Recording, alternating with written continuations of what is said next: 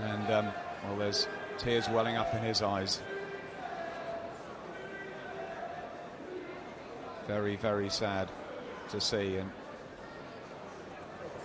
Jamie Moore must be going through, well, who knows what the feelings are, all sorts of emotions.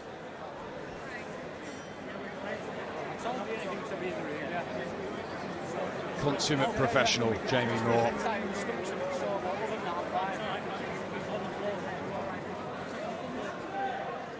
And they continue to keep Matthew Macklin in the ring until they've uh, got him sufficiently on the stretcher. And the crowd applaud as they wrap Macklin up. And um, they'll be taking him to hospital very shortly, we would imagine. There's the oxygen mask on Macklin. And the stretcher waiting. There's Jamie Moore going in to see him. Look at that. Well, Matthew is obviously responding. If Jamie's down talking, they're shaking hands. They're shaking hands. So That is si- fantastic signs are good. see. Signs are good. That is great to see. They shook hands, and now I think they're they're even trying to talk in there. The oxygen mask still on Matthew Macklin, and of course he will be taken and tested, and uh, all the medical routines will be carried out.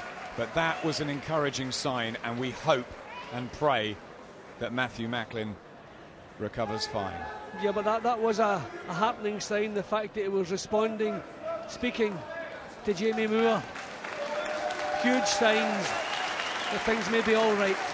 Yep, hand up again to the crowd. Exhausted.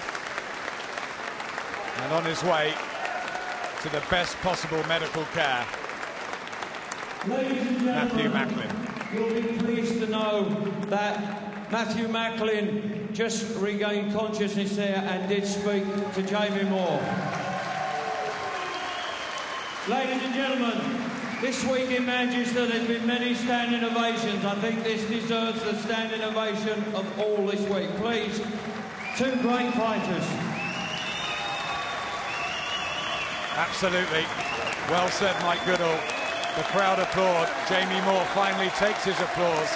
A 10th round knockout in a, uh, a fight that in Britain, well, unprecedented for many a year in terms of action, but uh, tempered with our thoughts and prayers with Matthew Macklin. Yeah, well, we can hope that it's uh, uh, mostly exhaustion f- from Matthew now. He put so much into this, and uh, just it seemed that the experience of Jamie Moore just gave him the edge uh, at the end when it Ladies counted. and gentlemen, after 1 minute 29 seconds of round 10, the winner by technical countout and still the light middleweight champion of Great Britain, Salford's Jamie Moore!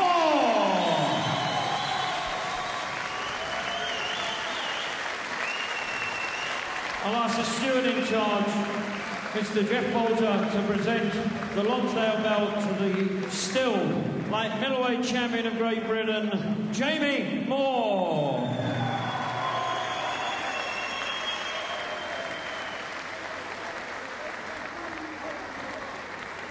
Well, we will keep you updated with uh, Matthew Macklin and his uh, his progress. Our thoughts are with him, of course.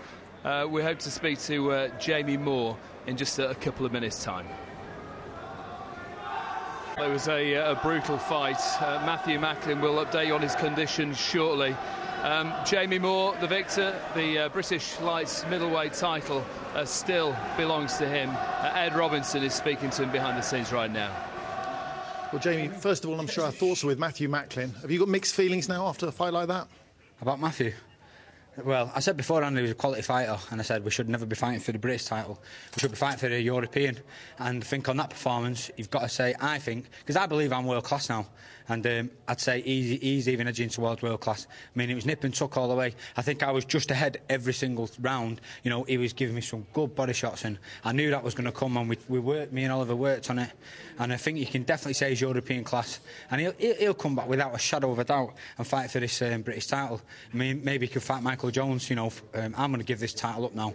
I've, um, I've been at this level too long, and um, Frank Maloney's going to engineer me towards a European, if not a world title shot, because after that, Ed, you know, I, I can't keep fighting like that. I've got three more years. I've promised my wife, Colleen, I'll be done when I'm 30, and um, yeah, I'll have to be done when I'm 30 because I can't keep fighting like that, man.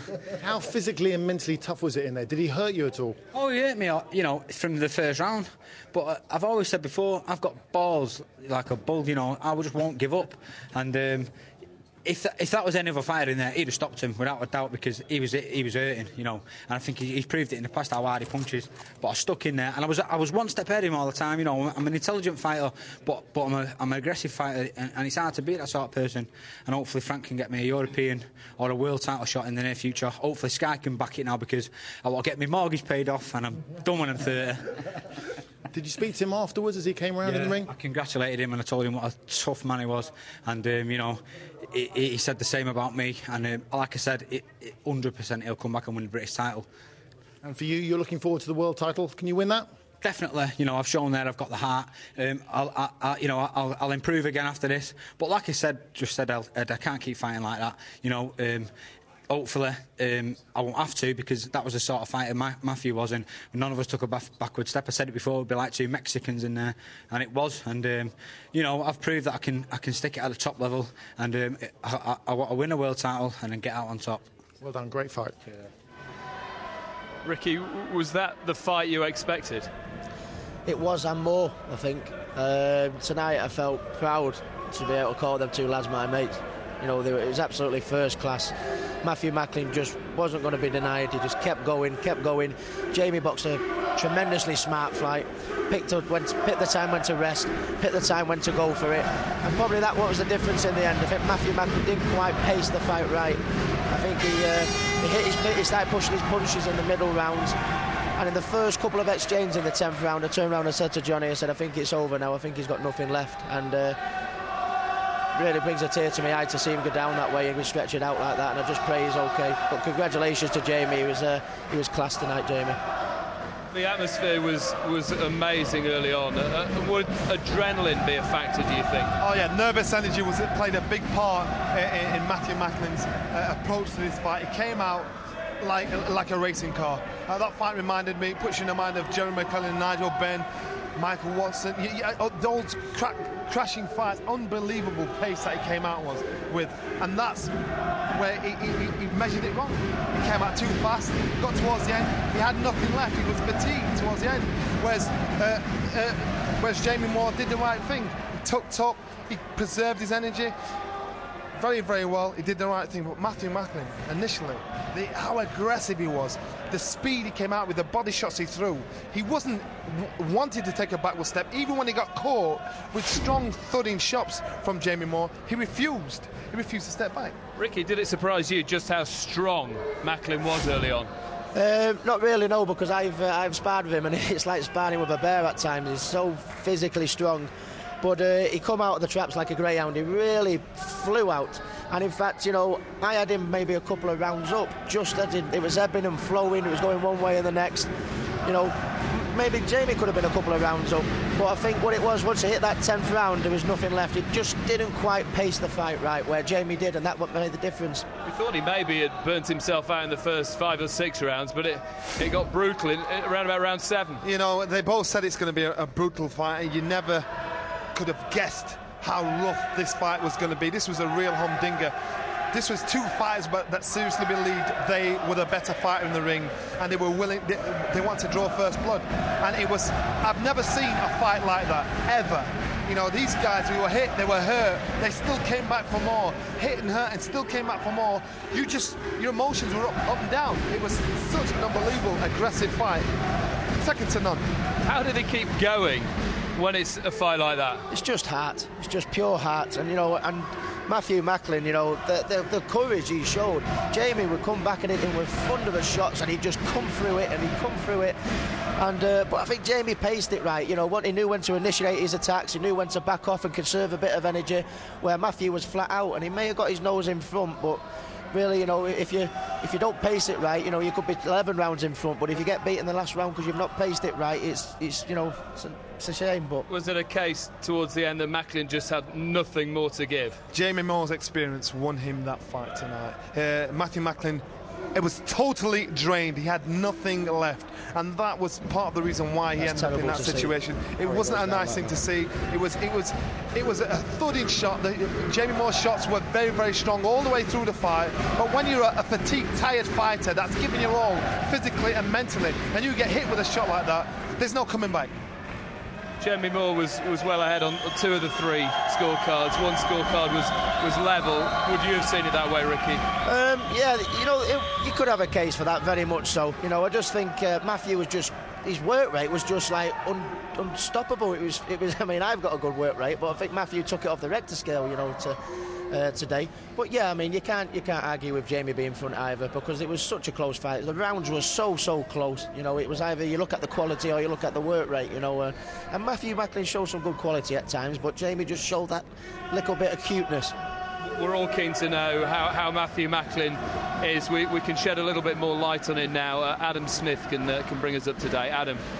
Well, that's it, Dave. Uh, I'm in Matthew Macklin's uh, dressing room after that huge effort he put in tonight. He's, uh, he's now been uh, transferred to the Hope Hospital in Salford with the very best uh, medical care. Billy Graham, his trainer, has, uh, has gone with him, as has his dad and brother Seamus. we wish him well. The, the encouraging news is that Kerry Kayes, his conditioner, we just had a word with him, and he said that Matthew was sitting up in the ambulance and, and he was talking. So, so that's an encouraging sign, but obviously obviously, our thoughts are with uh, Matthew Macklin after what was such a brutal fight, Dave.